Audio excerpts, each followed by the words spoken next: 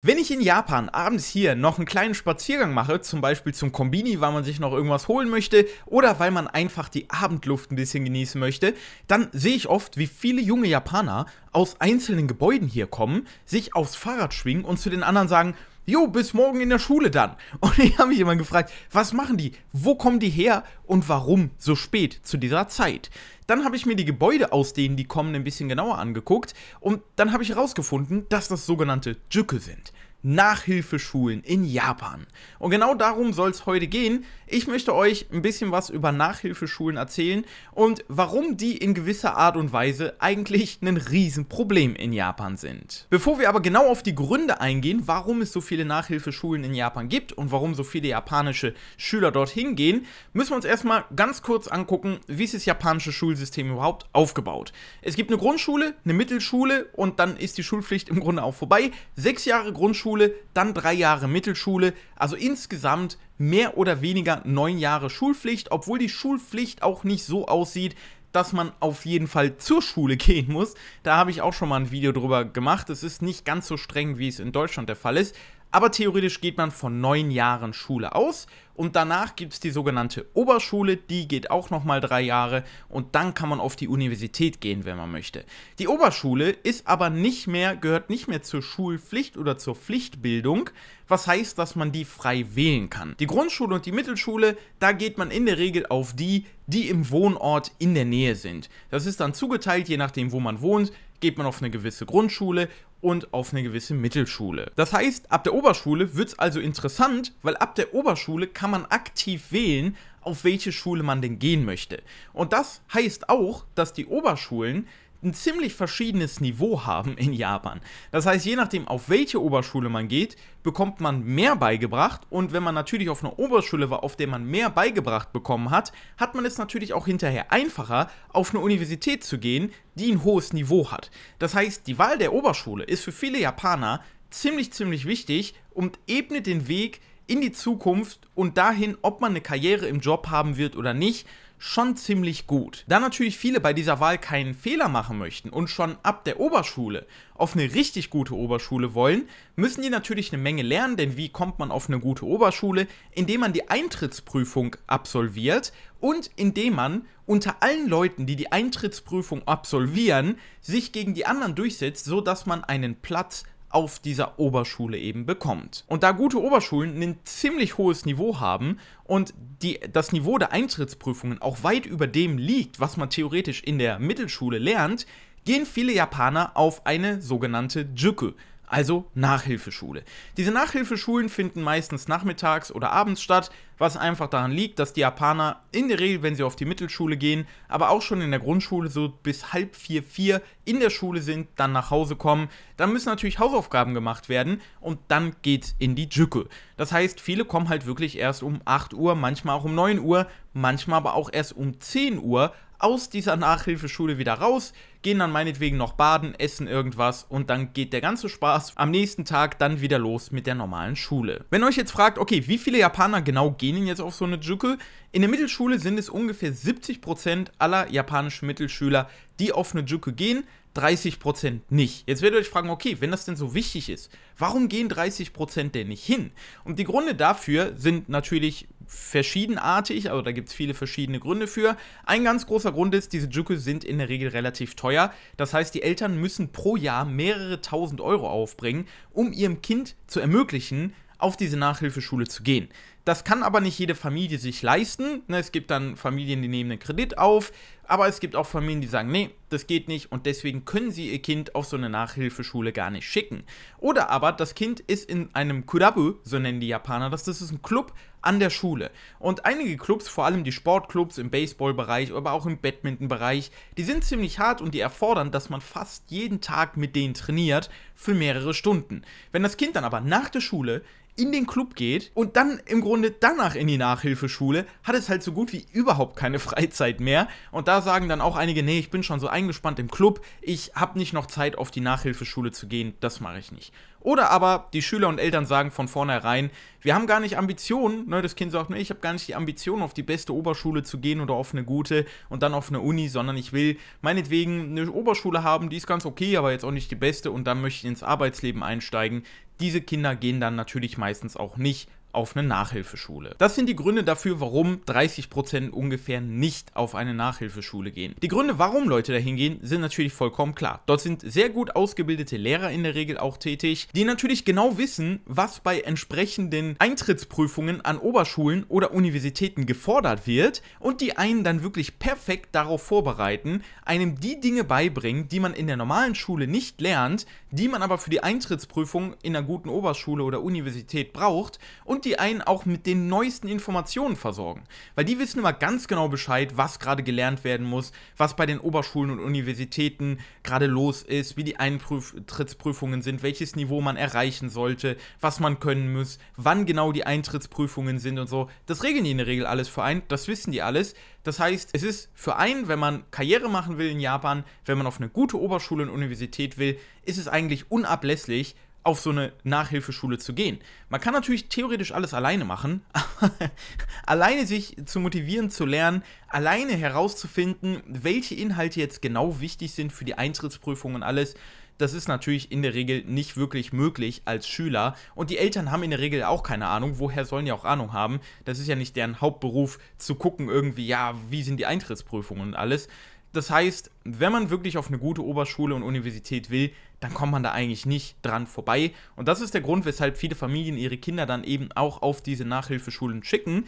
Die Kinder, die verstehen, glaube ich, zum Zeitpunkt der Nachhilfeschule nicht immer ganz so genau, was eigentlich abgeht.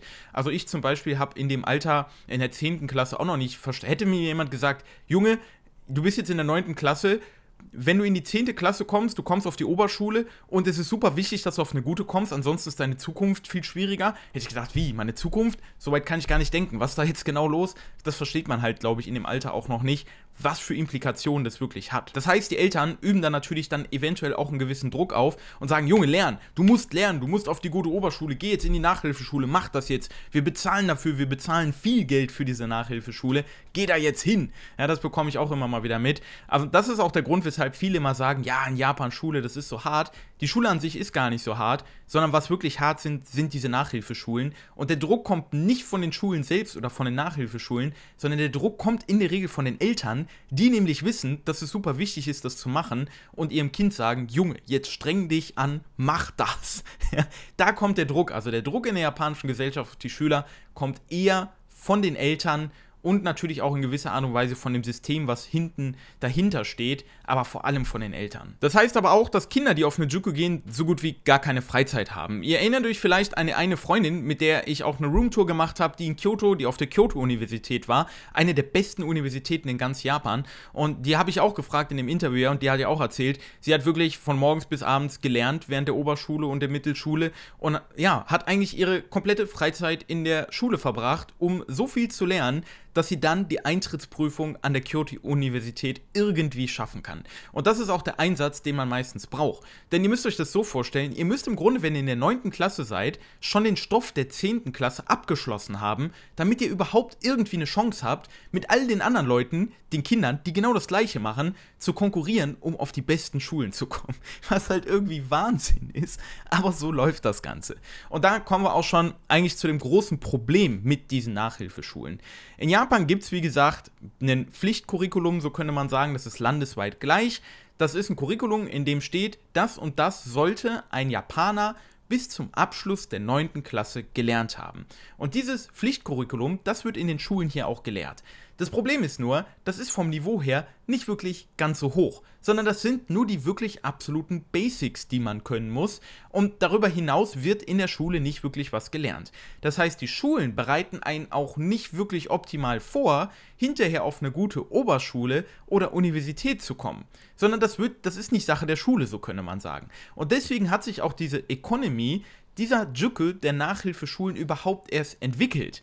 Und deswegen kann man die auch nicht einfach so aus dem japanischen System wegradieren, weil wenn du die Nachhilfeschulen abschaffst im Grunde, müsstest du das Niveau der Oberschulen und Universitäten auch komplett absenken, was aber dann die Universitäten und Oberschulen nicht wieder wollen. Und wenn du sagst, ja, aber wir müssen es so machen, dass man alles in der Schule lernt, müsstest du das komplette Schulsystem im Grunde umbauen, was im Grunde auch niemand will.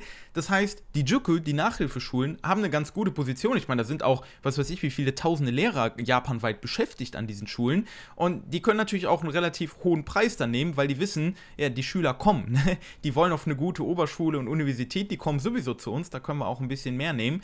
Und die Kinder oder Familien, die sich das nicht leisten können, die haben ein Problem, weil die einfach überhaupt nicht in der Lage sind, mit denen, die sich das leisten können, zu konkurrieren. Und dann am Ende kommen sie natürlich auf schlechtere Schulen, schlechtere Universitäten und erhalten in der Regel auch schlechter bezahlte Jobs. Im Grunde sind also diese Juku zu einem Teil des Schulsystems geworden. So würde ich das jetzt einfach mal nennen. Die sind ein Teil und jeder sagt, ach, die sind optional, du musst das ja nicht machen. Aber die Realität sieht so aus, dass man es in der Regel machen muss, weil man ansonsten nicht wirklich eine Chance hat, mit den anderen zu konkurrieren. Jetzt denkt ihr euch wahrscheinlich, was ist das für ein System? Ich meine, Deutschland ist da natürlich grundlegend anders strukturiert, weil in Deutschland gibt es das Abitur und mit der Abiturnote bewirbst du dich an der Universität. Das heißt, in der deutschen Schule auf dem Gymnasium lernst du alles, was du brauchst, um die Abiturprüfungen gut bestehen zu können. Und das ist hier halt nicht der Fall, sondern hier lernst du in der Schule nicht alles das, was du brauchst, um eine gute Eintrittsprüfung zu schreiben. Und da ist, glaube ich, der ganz, ganz große Unterschied zwischen Deutschland und Japan. Und deswegen gibt es in Japan, ich meine, in Deutschland gibt es auch Nachhilfeschulen oder Nachhilfelehrer, aber längst nicht auf dem Level, wie das in Japan der Fall ist. Also Japan und Nachhilfeschulen ist was komplett anderes als das, was ihr aus Deutschland kennt. Ja?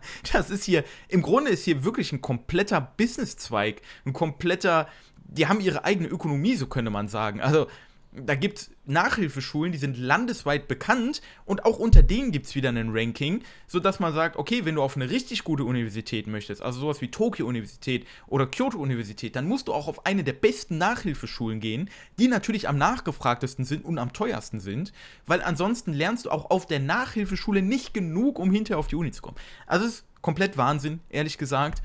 Und dieses System sorgt meines Erachtens nach natürlich auch dafür, dass es eine starke Ungleichheit hinterher im Job gibt und dass einfach Familien oder Kinder, die aus Familien kommen, die wirtschaftlich nicht so stark sind, ganz, ganz große Probleme haben, auf gute Schulen zu kommen hinterher. Und ein Teil des Problems sind natürlich auch die Universitäten und die Oberschulen, die die Eintrittsprüfungen extra schwer machen, weil die wollen natürlich nur die besten Schüler haben, aber die die extra schwer machen, so dass es halt wirklich unmöglich ist, das alleine irgendwie zu lernen, sondern ohne eine fähige Nachhilfeschule hat man halt leider Pech. Das sind also Juku in Japan, Nachhilfeschulen.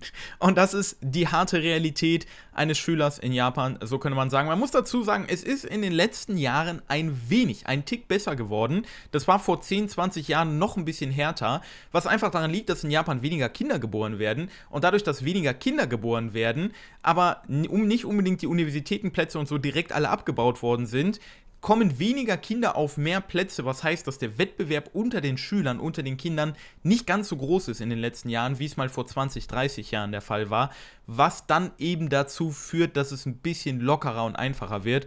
Aber auch heute ist es noch, wenn ich die Kinder hier beobachte, wie viele da in die Juku gehen müssen und wie viele auch einfach, ja, damit kämpfen, vielleicht innerlich, ah, auf welche Oberschule soll ich gehen? Das war auch bei Mayes Bruder, dem Tenchan, so der Fall. Er hatte verschiedene Oberschulen zur Auswahl. Die eine war zu gut für ihn, die andere war aber eigentlich zu schlecht für ihn. Und ja, die Kinder, für die ist es natürlich auch Stress und Druck, weil die wissen, ich muss auf eine gute Schule, aber verstehen auch gar nicht so richtig, warum das eigentlich der Fall ist, weil man natürlich keine Ahnung vom Arbeitsleben hat und vom gesellschaftlichen Leben als Erwachsener.